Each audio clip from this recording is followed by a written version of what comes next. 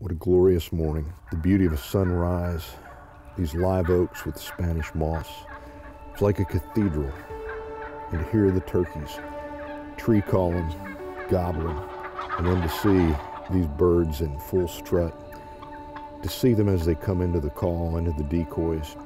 As I've said many times, you're going to see more turkeys. You're going to hear more turkeys. You're going to have opportunities at more turkeys. I want to show people that you can have a great winter hunt, much like spring, with all the subspecies. And that's why we're here in Florida for that last leg, the Osceola of the Winter Slam.